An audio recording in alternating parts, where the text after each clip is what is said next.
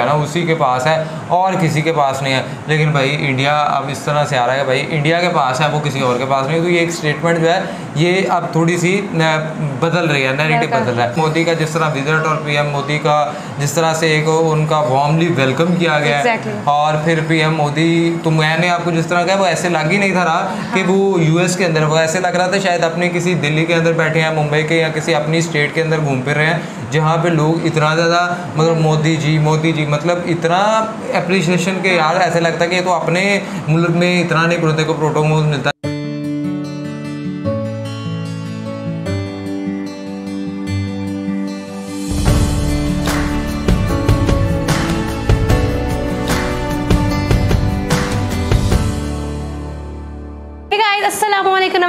welcome to YouTube channel Zahran reaction it's me your host Khadija Waseem मेरे साथ है। महराना से। नाजिन बराक ओबामा, जो कि यूएसए के एक्स प्रेसिडेंट हैं, और उन्होंने जो है, एक उन्हें स्टेटमेंट दी है, और इंडिया के हवाले से, और उसके ऊपर उन्हें काफ़ी ज़्यादा बैकलैश आया स्टेटमेंट कुछ इस तरह की थी कि ओबामा ने कहा जी कि इंडिया के अंदर जो है माइनॉरिटीज़ को ख़ास तौर पे जो मुस्लिम माइनॉरिटीज़ है ना उसको बहुत से इश्यूज़ हैं। और जबकि ओबामा के जब ओबामा खुद प्रेसिडेंट थे और उन, उनकी जो गवर्नमेंट थी तो उसके अंदर ये था कि छः रिनाउंड जो मुस्लिम्स कंट्री थे उनके ऊपर जो बॉम्बिंग की गई थी यूएस गवर्नमेंट की जानब से यूएस आर्मी की जानब से।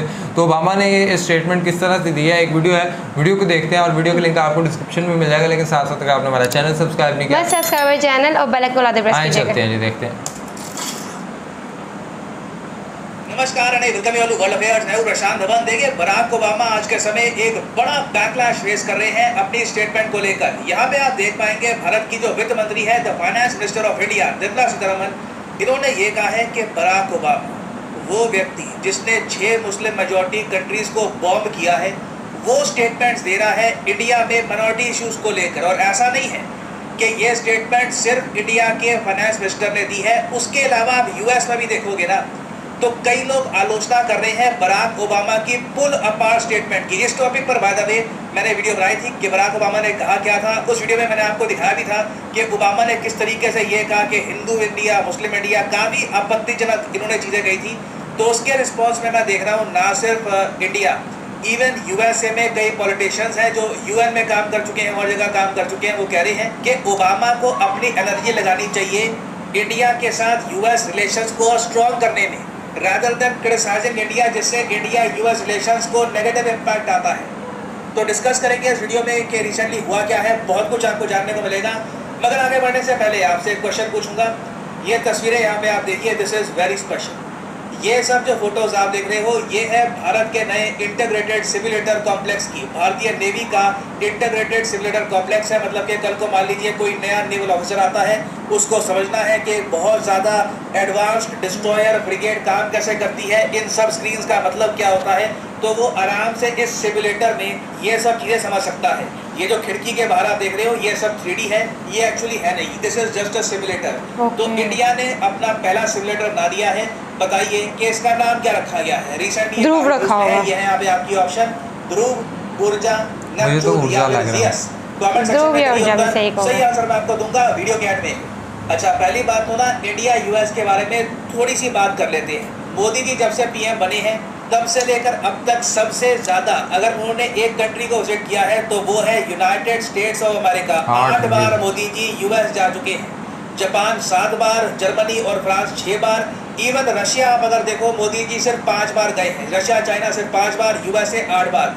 इससे आप समझ सकते हैं कि इंडिया ने इवन यूएसए ने भी कहूँगा दोनों कंट्रीज़ ने एक दूसरे को कितनी ज़्यादा इंपॉर्टेंस दी है और जो। रिसेंट विज़िट थी पीएम मोदी की टू यूएस ये बिल्कुल हिस्टोरिक थी। एग्जैक्टली ड्रोन डील साइन हो चुकी है।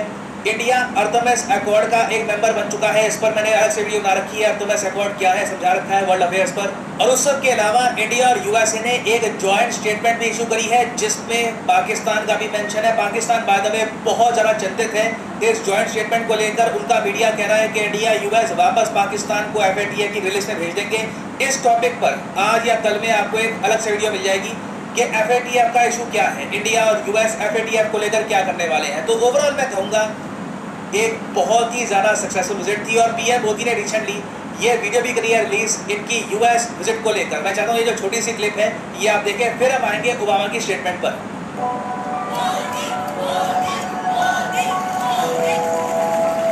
मोदी जी तो ऐसे लग रहे हैं भारत में हैं जिस तरह के उनके फ़ैन वाले means to unite.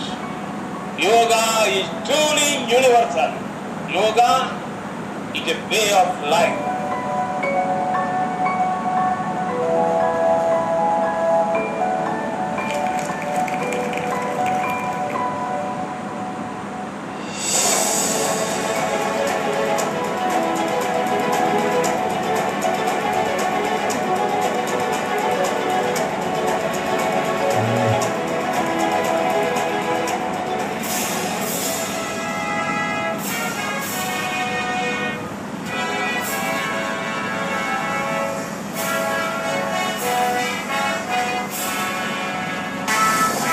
तो ऑनरेबल वेलकम है ना?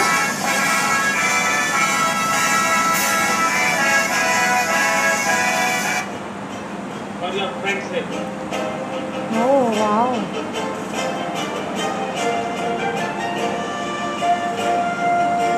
मोदी जी के क्या शशके हैं? अगले की बीवी को ऐसे पकड़ा है जैसे अपनी है। व्हाइट हाउस में शानदार स्वागत एक प्रकार से भारत के 140 करोड़ देशवासियों का सम्मान है। 140 करोड़ देशवासियों का गौरव।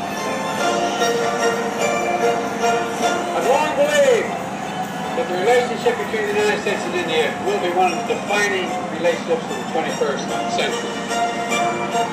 so overall PM Modi की जो यूएस जेट थी it was a success but Obama की जो स्टेटमेंट है जो उन्होंने बात बोल दिया कि देखो मैं फिर से रिपीट करूँगा यहाँ पर एक दूसरे की कंट्री में ह्यूमन राइट्स के इशू पर कमेंट करती है देश ठीक है इंडिया भी कह चुका है कि we are concern about human rights condition in US but Obama ने जो ये कह दिया ना कि इंडिया माइट पुल अपार्ट ये को सच में सोचना चाहिए था। और मुझे अजीब इसलिए लगता है कि ओबामा ने ऐसी स्टेटमेंट दे के दी क्योंकि ये बहुत ही ज़्यादा नाप तोल कर कॉमा स्टॉप भी बहुत ही नाप तोल के लगाते हैं। He is famous for that मगर जो इनकी स्टेटमेंट थी कि इंडिया में हिंदू, इंडिया, मुस्लिम, इंडिया, ऐसी बात जो उन्होंने कही है। और ये कहा कि मैं अगर मैं पीएम मोदी से मिलता तो मैं उनको अलग लेकर जाता और कहता कि देखिए, ये जो मिनोरिटीज़ का इशू है, इस पर आपको फोकस करना होगा। इस सब की वजह से इंडिया से और इवन यूएसए के कई लोगों से एक रिएक्शन आ रहा है। और यहाँ पे आप देख पाओगे द गार्डियन का आर्टिकल है Obama remarks on India statement of Muslims hypocritical ये कहा है इंडिया के मिनिस्टर ने। यहाँ पे आप देख पाओगे India finance minister has derided comments by former US president Barack Obama that Narendra Modi government should protect the rights of Muslim minorities तो सिंपल भाषा में इंडिया की मिनिस्टर ने ये कहा है कि बराक ओबामा दोगले हैं। और दोगले क्यों हैं? दोगले इन्होंने यहाँ पर इसलिए कहा है क्योंकि ओबामा छह मुस्लिम मेजोरिटी कंट्रीज़ को बॉम्ब कर चुके हैं। मैं चाहता हूँ ये जो स्टेटमेंट है हमारी फाइनेंस मिनिस्टर की, ये आप सुने। उस समय एक पूर्व राष्ट्रपति यूनाइटेड स्टेट्स का बयान दे रहे हैं भारत के मुस्लिम्स जबकि विदेश के विषय के बारे में मैं थोड़ा संयम रख, रखते हुए बोल रही यूनाइटेड स्टेट्स के विषय में हम अच्छा फ्रेंडशिप चाहते हैं। मगर उधर से भी भारत के रिलीजियस टॉलरेंस के ऊपर एक यूएससीआरएफ है, उनके कमेंट्स आ जाता है। राष्ट्रपति जी ने कुछ बातें बोल रहे हैं, जहाँ शायद छह देशों के खिलाफ, जहाँ मुस्लिम पॉपुलेशन डोमिनेंट है बॉम्बिंग हुई होने के कारण। सीरिया से लेकर के, यमन के लेकर के, सऊदी के लेकर के, इराक इराक के लेकर के बॉम्बिंग नहीं हुआ। More than twenty eight thousand मेरे पास इतना स्पष्ट डेटा नहीं है। सात कंट्री के खिलाफ उसी समय झगड़ा वॉर लाइक सिचुएशन डेवलप हुआ। और more than twenty six thousand bombs we dropped ऐसे जब कंट्रीज़ उनके अपनी तरफ़ से उनके राजनीतिक निर्णय के बारे में वो करते भारत के खिलाफ एलिगेशन डालने में। कहाँ उसको सुनने वाले लोग भी भरोसा रखेंगे। तो देखिए, बराक ओबामा की जो लेगेसी थी अब अगैन बराक ओबामा की प्रेसिडेंसी खत्म हुए, एक लंबा समय बीत चुका है। बराक ओबामा के बाद ट्रंप आए, फिर बाइडेन का जो कार्यकाल है, ये भी खत्म होने को आ रहा है। तो लोग थोड़ा बहुत भूल गए थे बट लोगों को अब रिमाइंड करवाया जा रहा है कि देखिए, बराक ओबामा ने अपने कार्यकाल में छब्बीस हज़ार से ज़्यादा बॉम्ब मुस्लिम मेजोरिटी कंट्रीज़ में गिराए थे। यहाँ पे आप देख पाओगे Afghanistan, Libya, Yemen, Somalia, Pakistan, यहाँ पे तो कई लोग मारे गए। और सबसे अजीब बात यह है कि ये सब ओबामा ने किया था नोबल पीस प्राइज जीतने के बाद। जब ओबामा प्रेसिडेंट बने थे, जी हाँ जब ये बस प्रेसिडेंट बने थे ना तो इनका प्रेसिडेंट बनना ही, एक नॉन वाइट पर्सन का प्रेसिडेंट बनना ही इतनी बड़ी बात मानी गई थी। कि नोबल पीस प्राइज कमेटी ने खुश होकर इनको नोबल पीस प्राइज थमा दिया। हालाँकि बाद में इन्होंने पीस के लिए कुछ ज़रा काम किया नहीं दुनिया में। और आपने नोटिस किया होगा, हमारी वित्त मंत्री एक ये भी मेंशन करी थी कि यूएस सीआईआरएफ की भी रिपोर्ट्स आती है टाइम टू टाइम देखिए, ये मैं आपको बता चुका हूँ। यूएस सीआईआरएफ की रिपोर्ट आती है, वहाँ पे कहते हैं वो लोग कि इंडिया को कंट्रीज़ ऑफ़ पर्टिकुलर कंसर्न की लिस्ट में डालो। जिस लिस्ट में ऑलरेडी चाइना पाकिस्तान है मतलब एक ऐसी लिस्ट है यूएसए की, जहाँ पे वो लोग कहते हैं कि ये कंट्रीज़ हैं जहाँ पर रिलीजियस मिनोरिटीज़ पर अत्याचार हो रहे हैं, उसमें चाइना पाकिस्तान इवन म्यांमार कई कंट्रीज़ आपको वहाँ पर मिल जाएँगे। तो US C I R F काफ़ी बार रिकमेंड करता है कि इंडिया को डालो वहाँ पर, मगर यूएसए के प्रेसिडेंट डालते नहीं हैं। और ओबामा की कमेंट के बाद एक बहुत ही विचित्र बात हुई। जो US C I R F के फॉर्मर कमिश्नर थे, आज के समय ये पावर में नहीं है, जो फॉर्मर कमिश्नर थे, इन्होंने खुद आलोचना करी ओबामा की और ये कहा कि ओबामा को अगर अपनी एनर्जी खर्चनी है तो इंडिया यूएस रिलेशन को स्ट्रॉन्ग करने में खर्चे ये इंडिया की ऐसे आलोचना करने से यूएस को ही लॉस हो। तो देखिए, ओबामा की इस वक्त काफ़ी आलोचना की जा रही है from India and US as well interesting होगा देखना। मैं एक्चुअली यहाँ पर ये वेट करा था कि क्या डोनाल्ड ट्रंप इस बात पर कुछ कमेंट करेंगी। डोनाल्ड ट्रंप के कई सपोर्टर्स हैं, उनको काफ़ी ट्वीट्स कर रहे थे, काफ़ी वो मैसेजेस वगैरह कर रहे थे और जगह। कि आप भी इसके बारे में कुछ बोलिए। मुझे पता नहीं ट्रंप इसके बारे में कुछ बोलेंगे या नहीं बोलेंगे। अगर बोलते हैं तो दैट विल बी ह्यूज उस पर बाद में मैं हो सकता है शॉर्ट वीडियो आपके लिए ले आऊँ। अगर वो स्टेटमेंट आती है तो। ना हम वापस आते हैं अपने क्वेश्चन की तरफ़ जो मैंने आपसे पूछा था कि ये जो यहाँ पर आप देख रहे हो integrated simulator complex for the Indian navy इसका नाम क्या है? तो नाम रखा गया है इसका ध्रुव। याद रखिएगा दिस इज़ वेरी इंपॉर्टेंट यहाँ पे आप देख पाओगे इंटरग्रेटेड सिमुलेटर कॉम्प्लेक्स ध्रुव। ये लॉन्च हो चुका है। बहुत ही कम देश है दुनिया में जिनके पास ऐसी फैसिलिटी है आप देखोगे।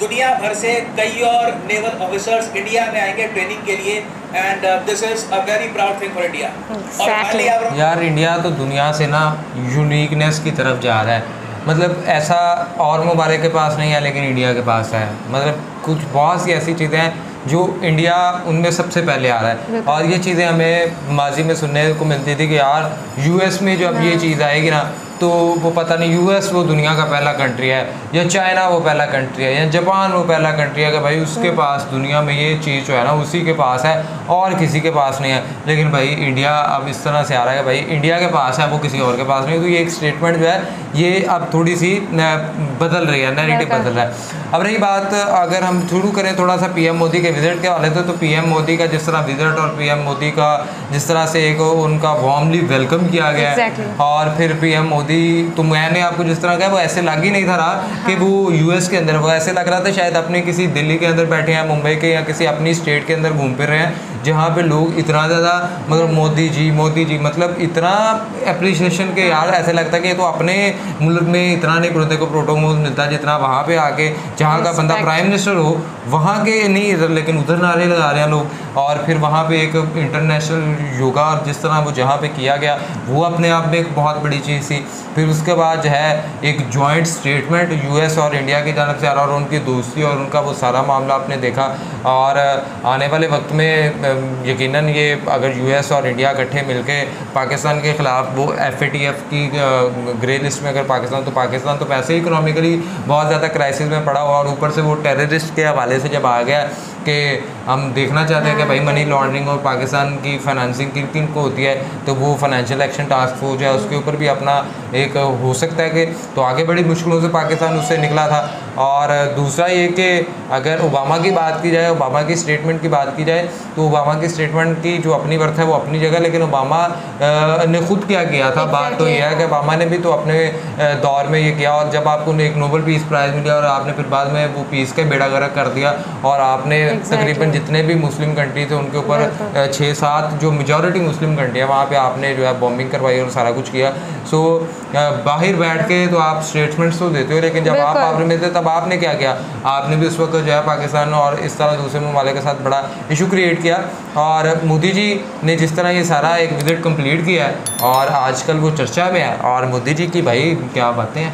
ज़्यादा बात की जाए ना ह्यूमन राइट्स तो अगर या ये बात भी की जाए तो ये बाहर के ममालिक बहुत ज़्यादा इस चीज़ पर फोकस करते हैं जबकि इनमें भी ब्लैक वाइट हमेशा ये रहता ही रहता है रेसिज्म है। हमेशा रहता है इनके अंदर ठीक है और फिर अगर आप देखा जाए मुझे लगता था कि चलो ठीक है दूसरे ममालिक पाकिस्तान रशिया इंडिया के ख़िलाफ़ कुछ कहेगा कि यार देखो ये अमेरिका गया दोस्त होगा समझ भी आती है। मतलब लेकिन अमेरिका के अंदर यासीन में सांप पाले हुए मतलब वो भी शुरू हो गए हैं निकल के। अच्छा ये तो एक अचानक ही मतलब इनकी इतनी ज़्यादा स्टेटमेंट ऐसे आती नहीं है और अचानक आके और वो आप शुरू हो गए हो जी मिनॉरिटीज़ के राइट नहीं मिले ये नहीं दिया आपने वो नहीं दिया।